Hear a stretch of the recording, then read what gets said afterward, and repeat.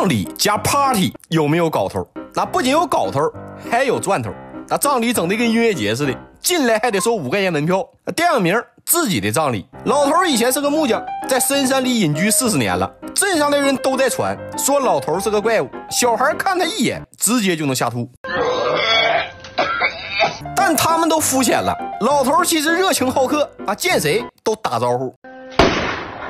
这天，一个牧师找到了他，说他有个好朋友去世了，邀请他去参加葬礼啊，送点祝福，随点份子。但老头隐居四十年了，早就没有朋友的概念了，葬礼他也没去。那多亏了这个消息，他开始思考一件事：如果自己也去世了，谁能为他操办葬礼呢？毕竟自己狗里狗气的驴子，可不能给他送终。他来到了镇上的教堂，拿出了毕生的积蓄，让牧师给他办一场葬礼。那牧师出于自己的职业性，问了他一个问题。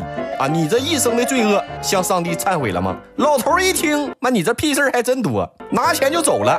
阿强带着老婆正好路过教堂，看到老头，他两眼放光，毕竟他是殡葬行业的，那这就是活着的客户啊。本想上去给老头介绍下业务，结果老头正在跟人打招呼。啊，考虑到自己不抗打，他决定先回公司汇报。老板一听很激动啊，就问他谁死了。阿强说：“啊，是一个活着的客户，想给自己办个葬礼。”老板万万没想到啊，那有一天还能接到本人的订单，那这是要提前享受呗。俩人当时就去了老头家，但毕竟听说老头可怕的传说，老板就没敢下车，转头就对阿强说：“啊，恭喜你成为本行业第一个推销员。”那阿强也害怕呀，那就说：“你跟我一起去吧。”但老板说了，如果自己不独立，你就永远不清楚自己的能力。那老板这碗鸡汤，阿强干了。老头一看家里来且的，直接打了个招呼：“汗流浃背了吧，小老弟儿。”阿强说自己是殡葬公司的，来推销点业务。老头一听啊，来来来，进屋。那一番详谈之后，老头决定就在他们公司下单了。那殡葬公司的老板头一回接待了本人付款的客户，亲自带老头挑选棺材。老头敲了一敲，啊，表示这玩意儿一般。老板微微一笑，亮出了镇店之宝——胡桃实木金刚把手席梦思床垫，支持七天无理由退换。但老头是个木匠，表示棺材他自己能做。那老板说：“我们还提供鲜花啊，我家山上全是鲜花，我们还能帮你选墓地。我家山上哪儿都是墓地，你到底想要干啥吧？”老头说：“你帮我整个 party 吧。”葬礼 party，老板和阿强都震惊了。难道这老头是天才？但毕竟自己是专业人士，那表示这个活我们接了。就问他你想邀请什么人？那老头说所有听说过我传闻的人。阿强一听惊呆了，那最起码得四个郡的人呢？啊，对，都让他们过来。但问题来了，那附近的人都说老头是个怪物，没人愿意去参加他的葬礼。那但愿意去他的坟头蹦迪，那邀请肯定是不行了。老板就带着老头去了电台。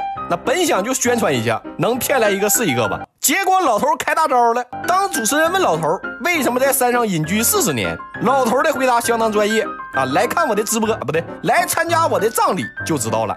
而且还有个刺激的环节，只需要花五块钱办卡，不对，五块钱门票就能来参加啊！凭票抽奖，中奖的可以继承他的房子和他三百英亩没采伐的树林。那不知道这算不算赌博性质？但主持人当场就表示自己务必参加。五块钱门票参加葬礼就能抽三百英亩的树林殡葬公司从来没接过这活啊，收的门票钱已经超越了树林价值的十倍了。那难道这个给自己办葬礼的老头是个经商天才？但这些钱老头没动，只是让殡葬公司的老板保管。然后他让阿强带着他去了一个教堂，一个深山里的教堂，根本没人会来。老头请牧师主持他的葬礼，结果牧师反问他。啊，那件事儿你释怀了吗？老头什么都没说，转身就走了。阿强这个时候才知道，这个纯木质的教堂就是老头建造的。那也许是为了赎罪吧。那回到家里的老头心情低落，连给自己做棺材的兴致都没了。那或许自己应该悄无声息的死去。他找到阿强说不想办葬礼了，